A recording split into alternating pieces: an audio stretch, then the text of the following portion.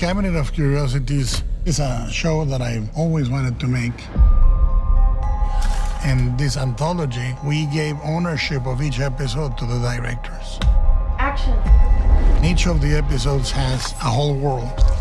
They present you with different delights. Some are savory, some are sweet. You get a surprise from each of the bites.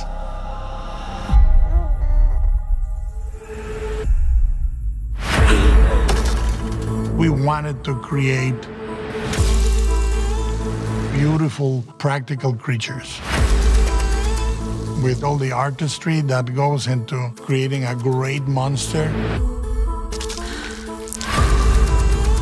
We uh, achieved some of the most remarkable images in the series. With Cabinet of Curiosities, what I'm trying to say is look, the world is beautiful and horrible at exactly the same time.